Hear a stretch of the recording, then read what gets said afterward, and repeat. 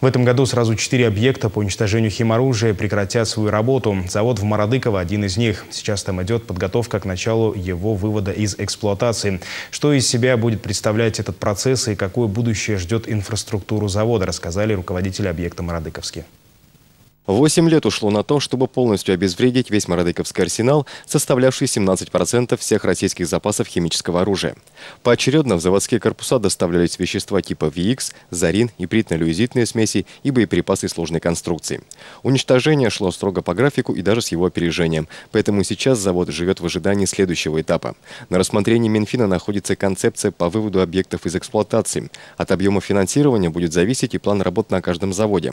Программа консервирования Мародыковского уже составлена. Мероприятий много и большинство дорогостоящие. В проекте это есть.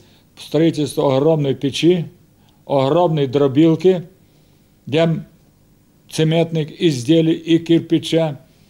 В них есть, по нашим принятым данным, то, что мы взяли, есть концентрация, превышающая допустимые нормы. Поэтому, конечно, придется работать в средствах защиты.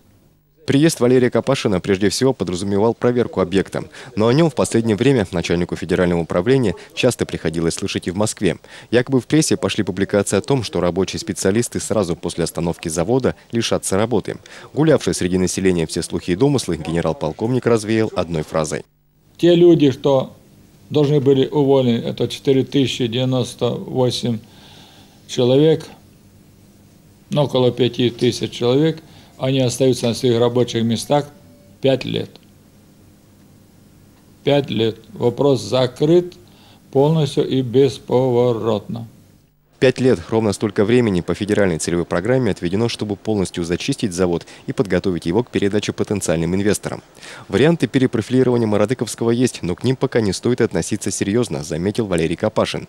Будущим объекта занимается специальная государственная комиссия, которая, по его словам, постарается остановиться на наиболее подходящем предложении, беря в расчет большие площади и уникальную инженерную структуру объекта. Я считаю, что должно что-то ближе быть э, к химии ну, удобрения, там, ну что такие химия. У нас, у нас такие сильнейшие лаборатории, они чистые. Лаборатории, лабораторное оборудование. У нас химическое-аналитическое оборудование. Ну, такое я не видел. Я сколько... Что-то ближе к этому, наверное. Начало вывода завода из эксплуатации должно начаться в следующем году, а 30 октября пройдет его официальное закрытие. Роман Четверяков, Сергей Щекин, Вести Кировская область.